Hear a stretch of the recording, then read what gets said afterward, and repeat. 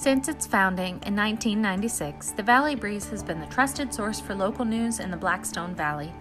Our readers and advertisers understand that shining a light on all aspects of our communities and doing it with some of the best local journalism anywhere makes these cities and towns better places to live in. We believe that truth has value and should triumph over rumors and misinformation. See valleybreeze.com or any of our five editions for more on how you can be part of this local news success story. The Valley Breeze, making our community stronger by telling their stories.